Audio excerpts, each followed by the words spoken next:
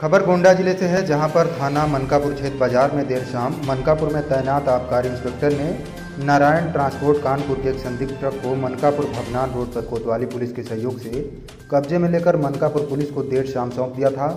बताया जाता है कि ट्रक में एक संदिग्ध ड्रम वस्तु अल्कोहल के साथ लदे परचून के सामान को संबंधित व्यापारियों के हवाले करने के लिए बृहस्पतिवार को ट्रक चालक को हथकड़ी पहनाकर कोतवाली परिसर में लाया गया। ट्रक ड्राइवर हाथों में हथकड़ी लगे ट्रक को चलाकर थाने ले आया। यह बात चर्चा का विषय बना हुआ है। आबकारी इंस्पेक्टर सत्येंद्र कुमार सिंह ने कहा कि संदिग्ध ट्रक पर कोई जहरीला जानलेवा पदार्थ एक ड्रम है, जिसको पीने से व्यक्ति की जान जा सकती है।